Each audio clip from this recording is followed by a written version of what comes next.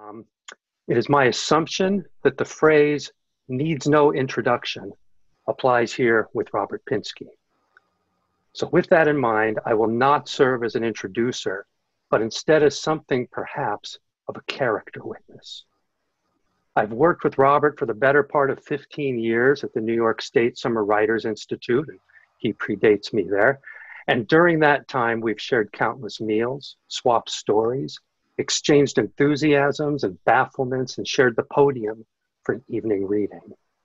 And as both participant and observer, I can confirm the following Robert is generous, Robert is kind and attentive, and in any conversation, Robert is interested, curious, opinionated, and present. And his readings, always memorable, bring a mix of joy, intellect, and musicality, and all in a manner that somehow conjure a real time paradox between the stentorium in the Colosseum and the intimate whisper of a confidant in a small private space. In Robert Pinsky, we have a poet who is fiercely committed to art, fiercely committed to believing in the best potentials of humanity. And in times such as these, when we need guidance and wisdom, perspective and clarity, truth and honesty, Robert is among the few we know we can turn to. As the pandemic overtook our lives, beginning our national confusion and personal disorientation, who didn't find solace in opening the Washington Post one mid April morning to see Robert sitting in his home, giving voice and perspective to the fear and worries of isolation, telling us, heavy with longing, in my mind, is preferable to hollow. If I am heavy with longing, at least I still have some idea of what I want. And such is what we've come to expect in this writer the search for and belief in the connective spirit of humanity, an argument for the link between intellect, body, and spirit, and a constant call for life. Please welcome Robert Pinsky. Thank you so much, Adam. Uh, that is a beautiful introduction. If about 70% of it is true, I will be happy and self-congratulatory. Um, I'm going to try to make what I do suit the necessity of doing this not in person, but virtually. So uh, I'll tell you my plan.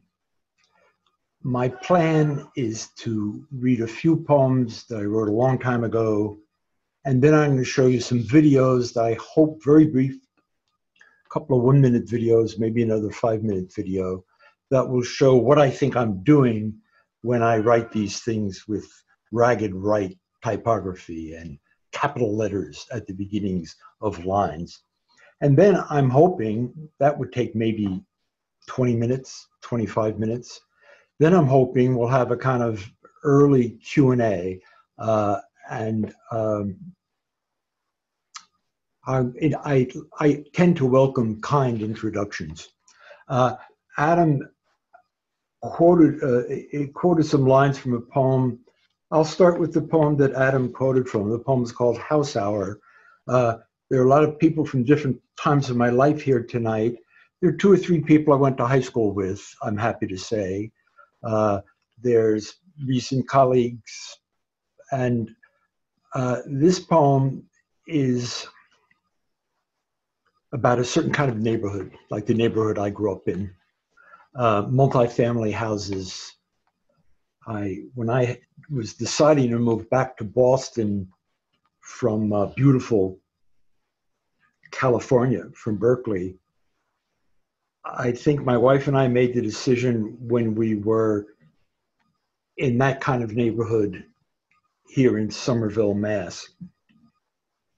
House Hour now the pale honey of a kitchen light burns in an upstairs window, the sash across. Milky daylight moon. Sky scored by phone lines. Houses in rows, as patient as cows. dormers and gables of an immigrant street in a small city, the wind worn afternoon shading into night. Hundreds of times before, I have felt it in some district of shingle and downspout at just this hour. The renter walking home from the bus, carrying a crisp bag. Maybe a store visible at the corner, neon at dusk. Macaroni mist on the glass.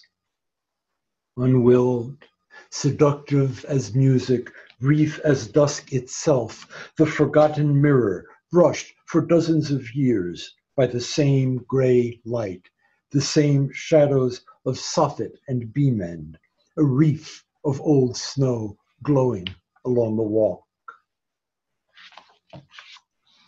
If I am hollow or if I am heavy with longing, the same. The same ponderous houses of siding, fir framing, horsehair plaster, fired bricks in a certain light, changing nothing, but touching those separate rooms of the past, those separate hours, and now at this one time of day, touching this one, last spokes of light silvering the attic dust.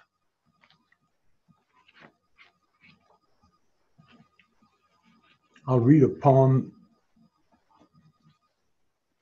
I'll wet the instrument and then read a poem. I guess instrument is a little joke, but a thing I want to communicate to the students and others is that uh, poetry is much more like singing and dancing. It's even much more like sports than some preconceptions. It's physical. It has to do with what you do with your breath and your mouth. Um, I visited a school for the uh, for the deaf, and there it's what you do. The kids, when they read their poems, vocalized, but they also signed at the same time. It's all of the above but it comes out of the body. This poem is the poem I chose to put first in this book, um, my selected poems. Rhyme. Rhyme. Air an instrument of the tongue, the tongue an instrument of the body, the body an instrument of the spirit, the spirit a being of the air.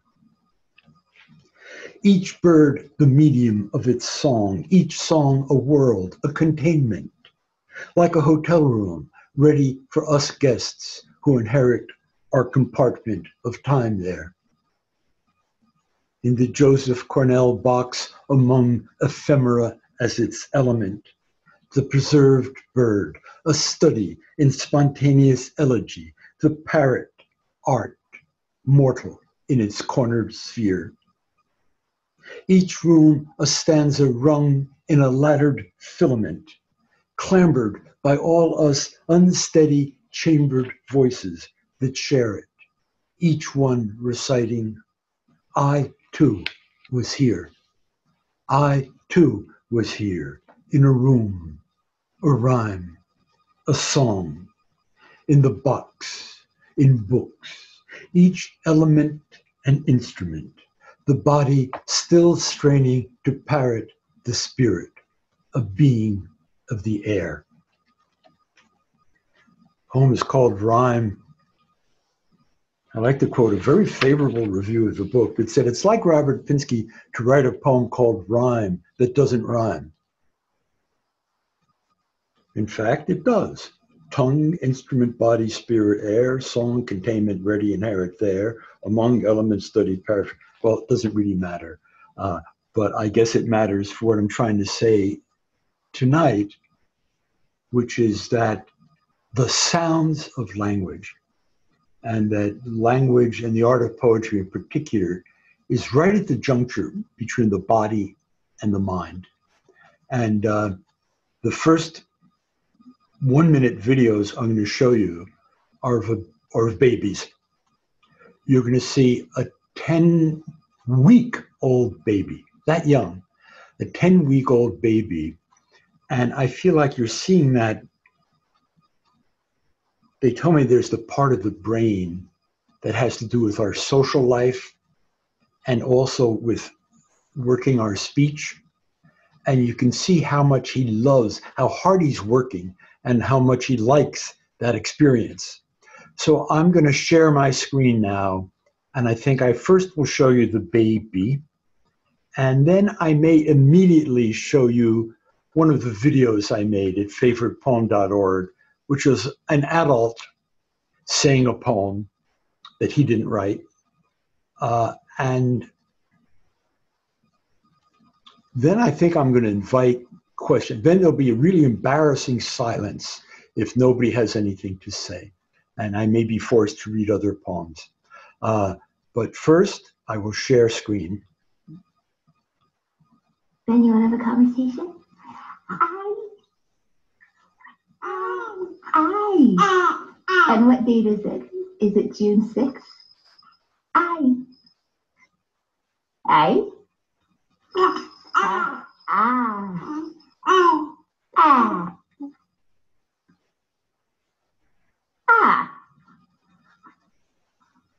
Hey. What do you think, Pat? Thank you. I thought so. Okay, bye bye. So you get that one last high.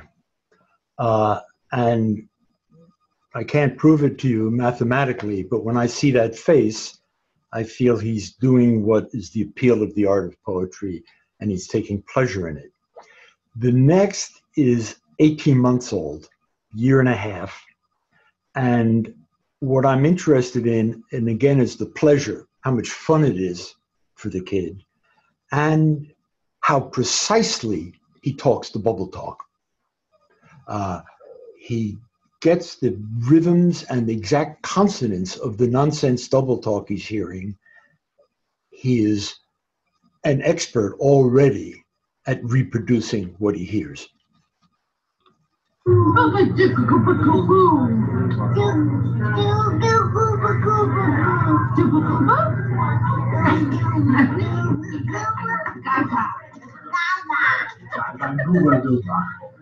Maka waka. Maka waka do.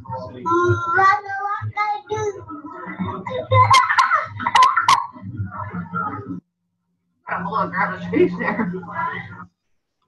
So Magawaga Do is produced very, very accurately. And uh, now uh, these are the videos. They're about five minutes each. And uh, I'm going to choose one where I think the guy speaks very convincingly. Here, I'll just let you see him read it. And then I'm going to unshare screen and I'm going to hope that either through chat or voice or some way, uh, somebody's going to respond to what I'm trying to say. And you all will let me know if I'm messing up the technology.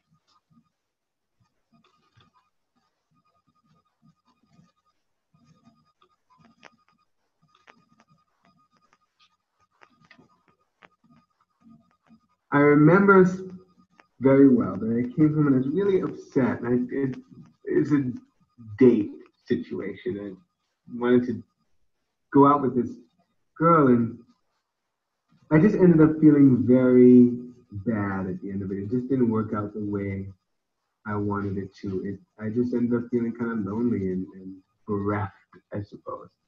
I came home and I opened this book and I read some of the poems. And up until that point, I think my sense of poetry was that it was always this sort of grandiose, for lack of a better term, highfalutin, uh, not very real way of using language.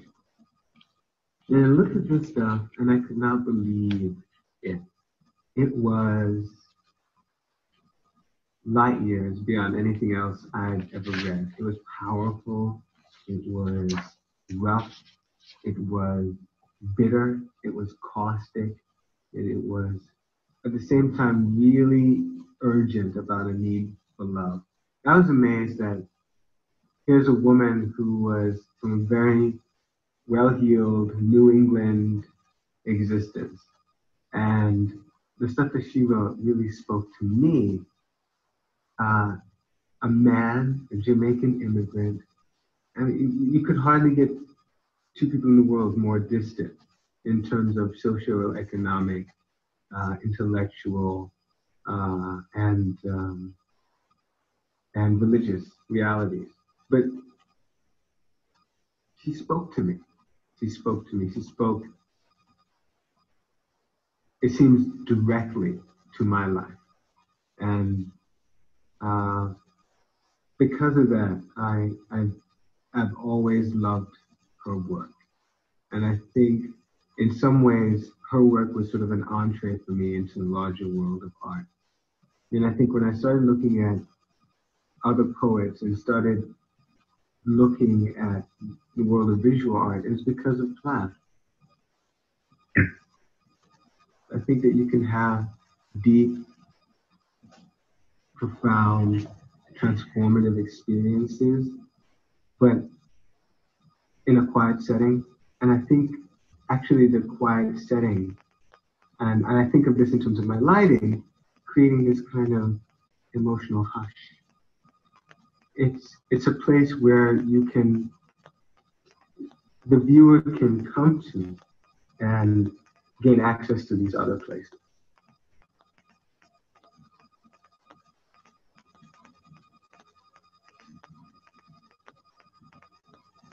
This is Nick and the Candlestick by Sylvia Plath.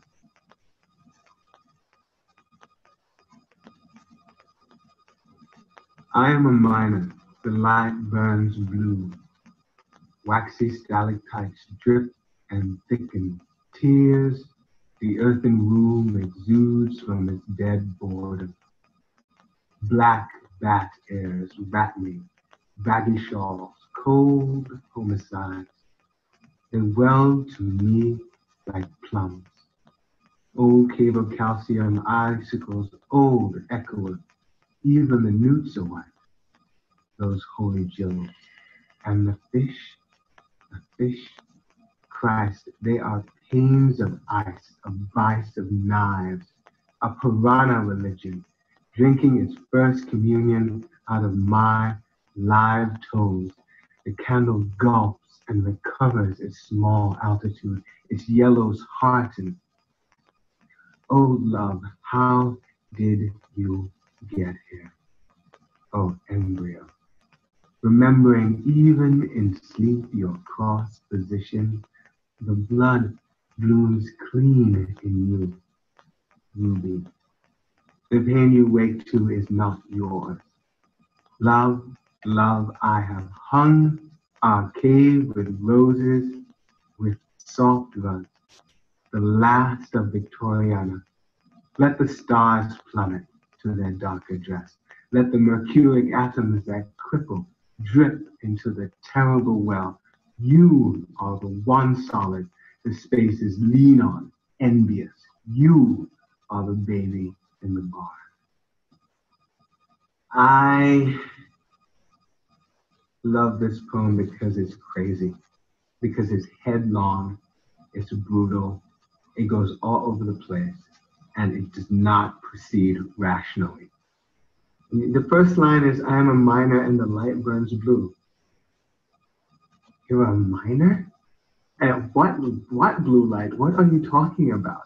And the last line is like this gift from the gods.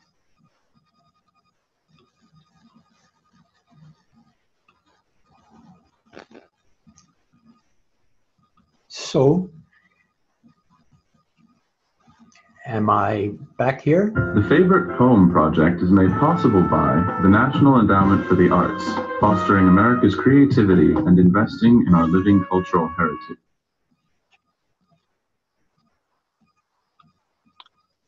Did I fail to? You're we back. back? Yeah. Okay, I don't see myself, but if you can hear me and see me, we are well. Now, uh, the technology makes it harder, maybe, to break the little shyness. But um, let's see if we can have a conversation. I promise that any question that people have, any remark you want to make, I am going to treat it respectfully. Robert, there's a question already in the, the queue here. So I will Okay. let Okay, Kyla, you're, you're live. All right. Um, hi. Um, I so my question for you today. Um, I was wondering how you would describe the relationship between poetry and emotion, and why it is that you think poetry is so important and prominent in times of high emotion, such as our times that we're living in right now. I find poetry seems to become important to people at times of communal emotions. Uh, anybody who writes poetry knows that your friends, when there's a funeral or a wedding, they say, they have, you have a poem to suggest?" Uh, funerals and weddings, and now we have in the largest possible community uh, a societal crisis, and poetry gets important the relation between poetry and art for me has to do with my feeling that emotion is there all the time. Thoughts are there all the time, all day long. It's rattling around in here.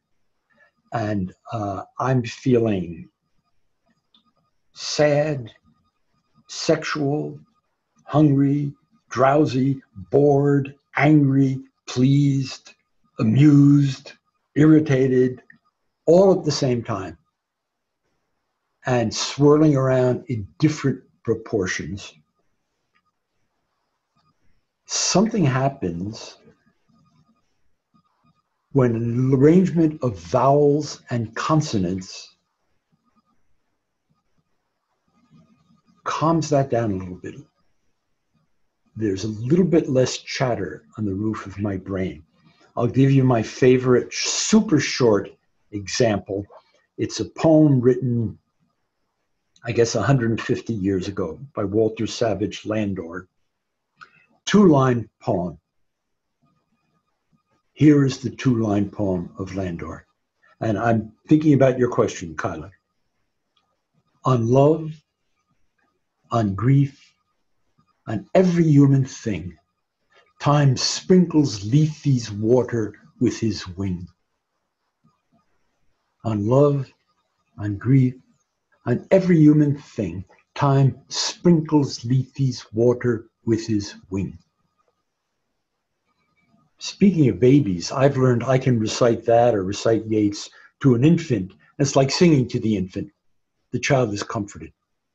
So even if I don't know what Lethe is, I know it's what time sprinkles on everything and not engulfs, but sprinkles. My point is that, like the baby learning how to say hi and very pleased that he comes close to saying hi, it's a physical experience. Three times at the beginning of that poem, I put my upper teeth on my lower lip. On love, on grief, on every human thing. Three times at the end, I purse my lips. Time sprinkles Lethe's water with his wing. When Walter Savage Landor, a very rich, upper class, great Latinist Englishman, wrote that poem, my various ancestors were running away from Cossacks or selling the Cossacks liquor all around Poland and Bielorussia. None of them knew this language. But here I am, 150 years later, my lips and my teeth and my feelings as a result. I get to feel what it would feel like to need to say that about love and grief and everything.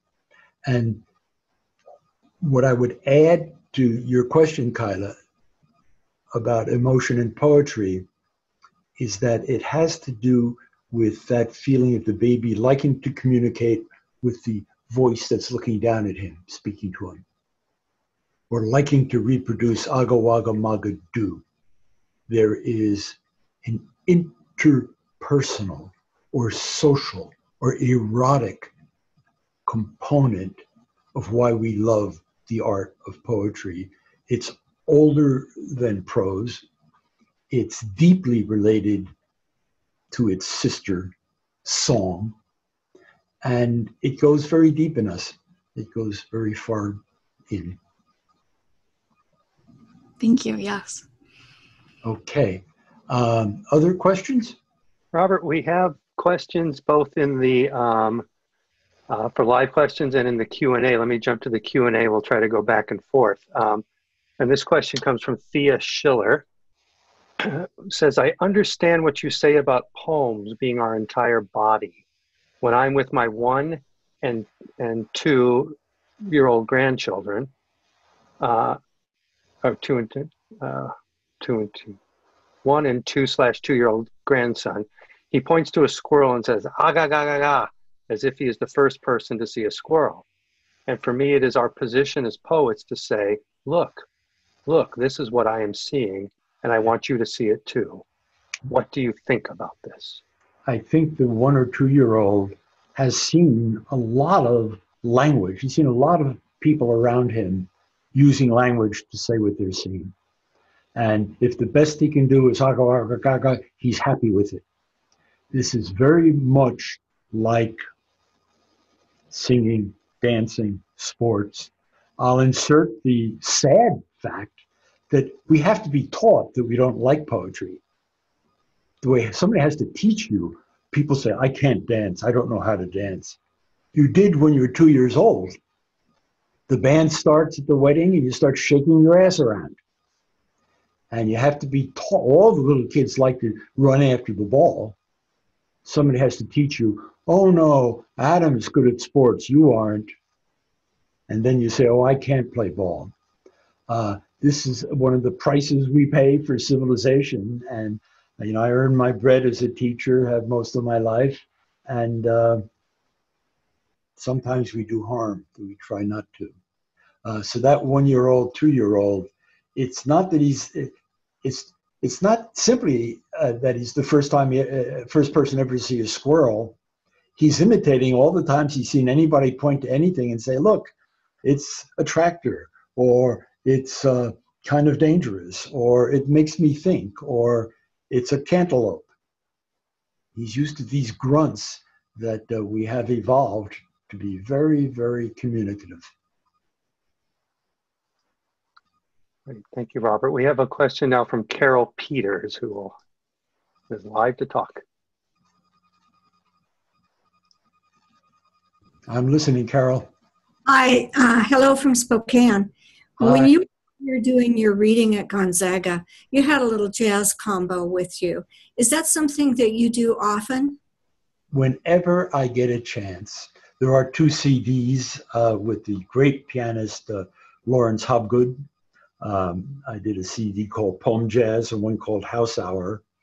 Uh, I started off wanting to be a musician, and uh, for me, there, as I already said, it's so much like song. I am a non-singing vocalist. I have worked. Uh, I did a show with Bruce Springsteen uh, uh, in Fairleigh Dickinson in New Jersey. I have worked with an Irish band. Uh, if any musicians are willing to try to improvise together, I am eager and glad to do it.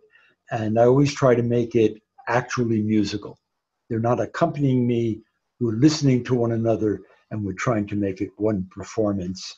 And I remember it was a piano player named uh, Seals. I think it's Mark Seals. He was wonderful. Uh, it's quite a while ago, I think, that we did that uh, at Gonzaga. So the answer to that is yes! Exclamation mark. Thank you. Pleasure, Carol. Uh, I'm happy to read some more stuff at this point. Okay we've got a couple more questions. Can I give okay, you? Let's do that, and then we'll do a finish with some poetry. Okay, okay. Let's, let's, do so, that. Um, uh, oh, I'm going to jump ahead to because there's a question from Harvey here that um, is related to what you were saying, and that is, has your poetry been set to music by anyone um, that you're aware of? Quite a lot. The wonderful composer Ezra Laderman has said quite a few of my poems. Um, it's often been done. I wrote the libretto for an opera by Todd Machover that was premier, premiered at the uh, L'Opera de Monte Carlo, was performed in uh, here in Boston and uh, Texas and California. It's a different art. I'm much more confident when I'm reading things I've written or that someone else has written with musicians than when I'm trying to write something for musicians. Famous dialogue uh, between uh, Stéphane Mallarmé and uh, uh his friend. The, the composer says, after the performance of L'après-midi d'un faune, he says, My friend, Stefan, how did it feel to hear your poem set to music? And that bastard Mallarmé says, I won't attempt it in French, but he says, That's what I thought I was doing when I wrote it. So there's the music one is written into it. So uh, yeah, my work has been set to music, and I appreciate it. I'm very proud of it. But for me, it's uh, I'm not such a hot songwriter. It's different. It's a different art. So Robert, there are three more questions currently. Do you want to read and come back to questions, or do you want yeah, to hear what people have to say? Okay. Um, we have Jillian Damiani, who's a student here at Roger Williams. Um, hi. So, oh, Jillian. Hi. Uh, so my question was, um, you discussed how art and crises are interconnected. Uh, do you think without crises we would have no good art? And do you think that without you're talking a little fast for me. Without. Do you think uh, without crises we would have no good art? And do you think we'll have a kind of renaissance post pandemic? um, everything kinetic. It, it's always something is rolling downhill. There's always something happening. Uh, drama began with uh, uh, religious plays on the steps of churches. And it turned out the most popular parts were when the devil would come out, firecrackers attached to his ass. Uh, something is always going wrong in my experience. Something is always not right. So the crisis in a social level brings out the craving for art. But what do we do all day? We play video games, we watch uh, videos, we read. Our hunger for art is so deep in the animal that there's always some form of crisis. If there isn't one, we invent one. If I win a prize, then I think, oh, now I've won a prize. Everybody will be paying attention to me. And uh, they will say, what are you going to do next? You won a prize. What now? Uh, so the happiest thing in the world, there's always some next step. Uh, even in love, Baudelaire says in his prose poem about love, there's always a changing degree to which one person is the surgeon, the other is the patient. One person person is the tormentor, the other is tormented. So I, yes, Jillian, I think there is a kind of a curve, especially a communal one. And there's always going to be an appetite for art. It's always going to be inspired by one kind of personal or general crisis, and it will never be completely filled. We always want more. Thank you. Mm-hmm. Okay, Robert, this question comes from Susan Taysent. It says, Rhyme was such a beautiful journey of rhyme words blocking and tumbling over one another and changing along the way. Could you speak about the power of repetition in poetry, in expression, in the world at large, perhaps especially now? Um, my wife is writing a psychoanalytic piece based on Freud's, uh, I think it's called Repeating, Repetition, and Working Through it's a basic, basic thing is repetition. It can be a curse and it can be a blessed relief. All poetry rhymes. It isn't always in rhyme. You know, with my poem, I said, you know, among song, the, the, the rhymes are sort of hidden. Uh, it isn't always that you got to rhyme because it's in time to do what you need whenever you bleed. But uh, one of my examples of this is William Carlos Williams's poem about the roofers. Now they're resting in the fleckless light separately and in unison, like the sacks of sifted stone stacked regularly about the flat roof, ready after lunch to be opened and strewn.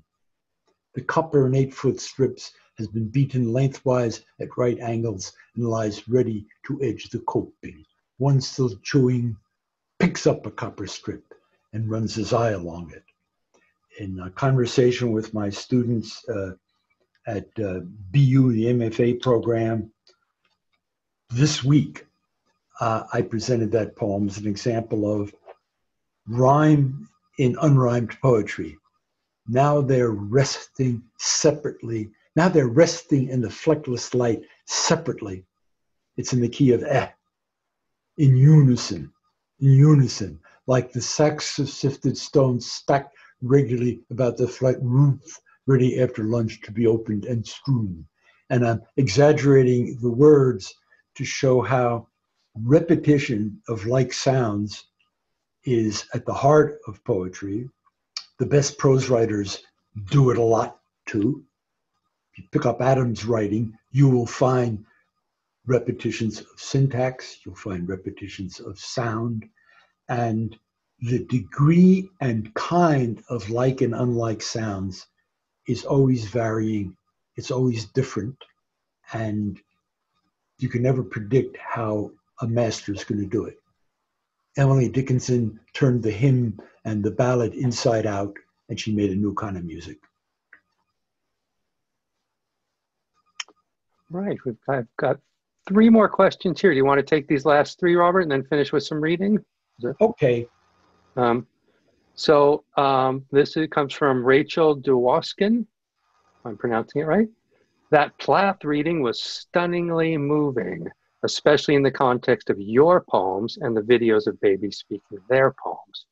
Can you talk a little bit about how you came up with the favorite poem project, what it meant to you and to others, and why it is such connections like the one we saw in that reading, uh, and why it is that such connections like the one we saw in that reading happen in such a particular way through poems?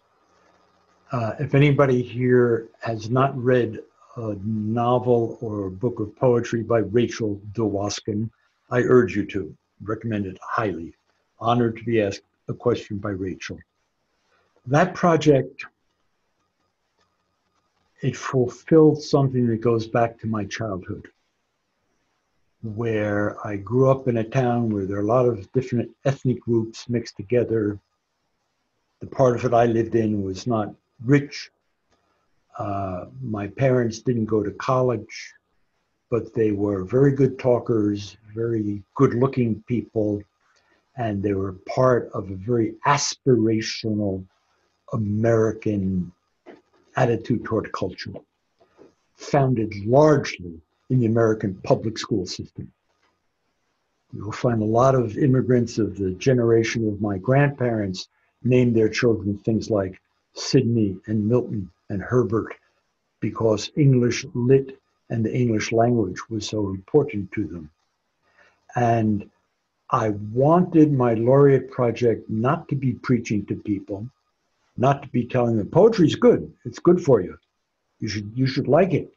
If you don't, you're bad. Instead, we designed one where you ask, not tell.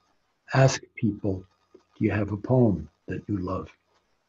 And it was, very quickly discovered that it was indeed had a lot to do. It had a lot to do with how it sounded.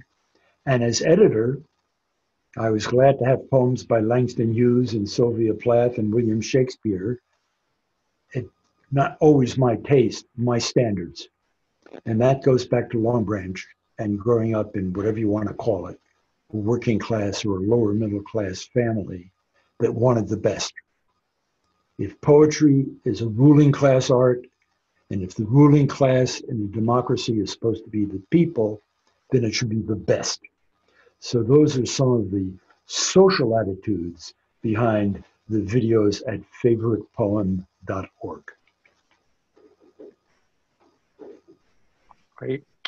Robert, I'm going to um, just read all the, que- the remaining questions to you Okay, because yeah, some of this may together and then do a couple of poems. Good. Yeah, because some of these may combine. So we have one, these two, um, a little bit more connected, but from Robert Powell and from Francisco Aragon. Mhm. Um, and from Robert Powell, he says, I read Wordsworth's Ode recently after not having read it for decades. I was floored by it in my 60s to the core, and it was nothing to me in my 20s. There's clearly more than sound to poetry, as important as it is. What can you say about that explosive combination of sound and sense?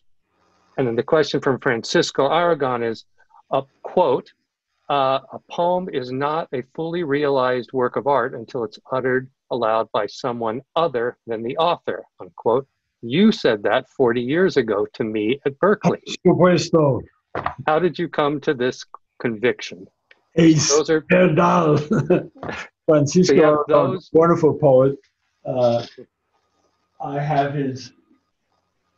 I I have a a new his new book of poems. Uh, Ruben Dario is the I forget the title. Anyway, I came to that conclusion as the experience of giving poetry readings, partly trying not to be boring, and realizing that poetry is in a way the most physical art dance is more physical, but it's an artist, but it's a trained body. The poem gets under your skin. It's when someone else says it.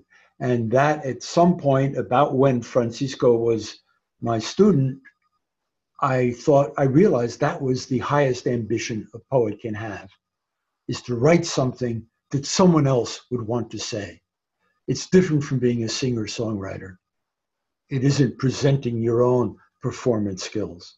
If I'm giving a reading, I'd like not to be boring, but the great, to be as Sylvia Plath was to Seph Rodney, to be as Langston Hughes is to Pov Chin in that other video. That, uh, that's what Chico and I aspire to. Uh, maybe I should just close with, uh, with, what are the other questions? Um, there was the one about Woodworth about about the ode, uh, Wordsworth ode Yeah. about being more meaningful um, later in life, and then there's a question from Elizabeth Cage in Sydney, Australia, Yes. um, asking um, what art are you engaging with now, and um, what do you read, uh, particularly uh, in conjunction with the times. You know, what what what are you drawn to reading and listening to? Um, and then there's one question in the live questioning if, if you're up for one more after after that. Yeah. Um, I always have trouble saying what I'm reading because I'm always reading uh, several things at once. Uh, I was reading Thomas Hardy this afternoon for some reason, probably with similar reasons that uh, one would read that Wordsworth ode. Different times of your life, you have different attitudes. Wordsworth's ode is all about uncertainty and doubt and feeling, are you quite sure?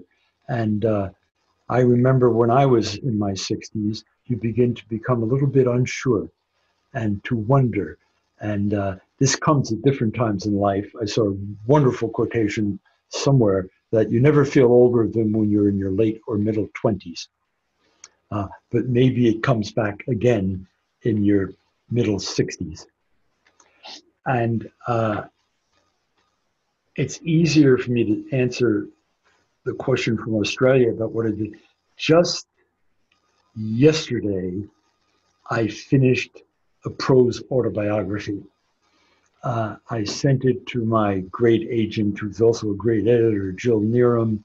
She'll probably tell me 150 things I need to improve, but in some way, uh, through these trying times, through a great national anxiety and dread and calamity, uh, if somehow it was comforting me to go back and uh, start with my mom making fun of my dad and then go to the favorite poem project, uh, it was okay. I liked it. And uh, so I, I officially congratulate myself. I finished at, le- at least one draft of an autobiography. Um, I'll read a couple of poems. Well, Robert, I want to interrupt one second because you have one more question I think completely Yes. ties to what you're talking about from someone I'm presuming you went to high school with, thinking of um, autobiography. So, um, so I'll let them, uh, Bill, I, I guess, uh, ask the question. Oh, we'll- Bill we'll Gilday. close up. But, Yeah. but he knows so many terrible things about me when I was in teens. It's, Uh, I maybe we should just eject him. Okay, Bill, let's let's hear it. Oh, Maybe all are you go? all of us who graduated with you are most proud of your accomplishments, especially the poet laureate. It's rare to have known someone with as much panache as you've shown in your poetry and in your life. We truly appreciate it. Thank you, Robert. Thank you very much, Bill. Uh, I call you also as a witness. There were a certain number of people, including Mr. Kolobas and uh, others, uh, would have said, "That guy, him, right?" that is hilarious.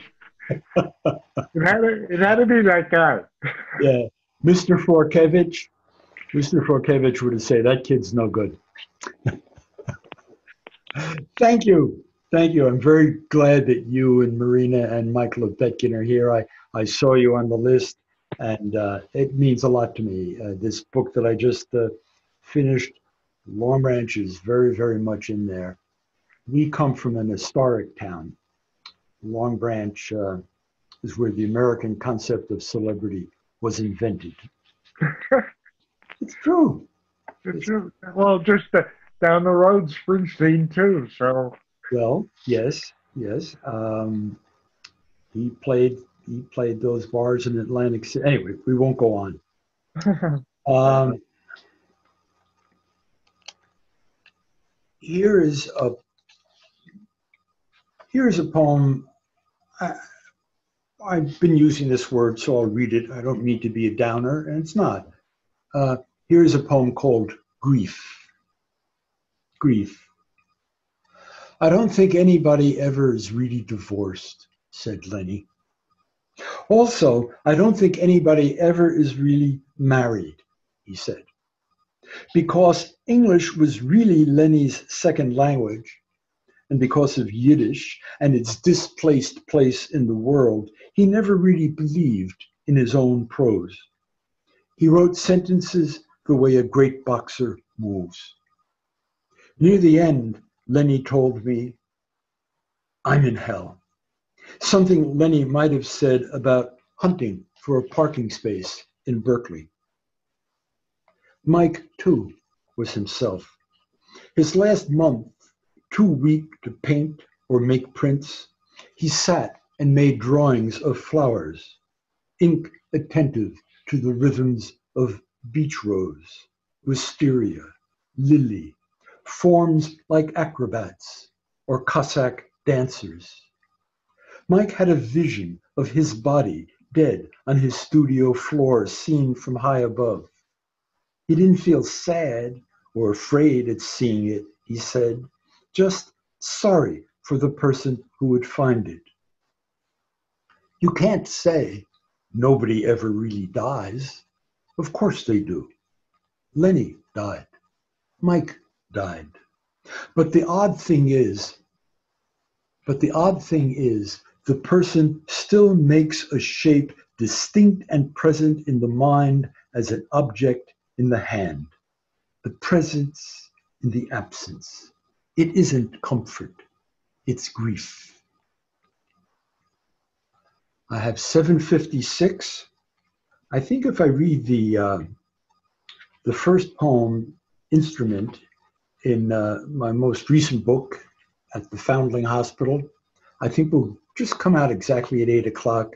And the Roger Williams students, the high school friends, uh, Elizabeth Cade from Australia, someone calling from Spokane, thank you very much. You helped me try to make the best of relying on technology because of the great national pickle that we're in. So I will close with this poem. I've used the word in a previous poem. I used it when I got my glass of water, so I'll wet the instrument. This poem is about what is good and bad in us that makes art. It's the first poem in at the Foundling Hospital. Uh, so I will say goodbye and thanks to you all with instrument. Instrument. It was a little newborn God that made the first instrument.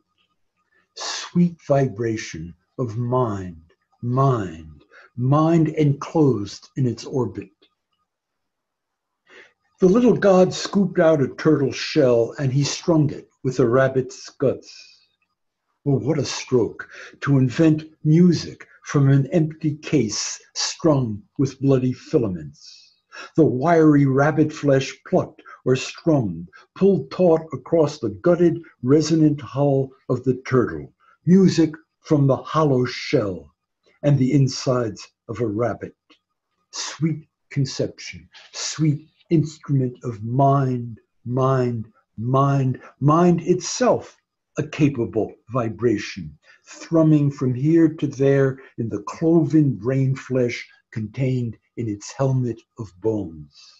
Like an electronic box full of channels and filaments bundled inside a case, a little musical robot dreamed up by the mind, embedded in the brain with its blood warm channels and its humming network of neurons, engendering the newborn baby God, as clever and violent as his own instrument of sweet, all consuming imagination, held by its own vibration. Mind, mind, mind pulled taut in its bony shell, dreaming up heaven and hell. Thank you, everybody. Robert, thank you so much for joining us tonight. My only disappointment is that we can't take you to dinner, which we would do if you were in Bristol. so I hope you'll take a rain check and we'll do that next time. One day. All right. Thank you all. Bye bye. Good night. Bye bye, everybody. Good night.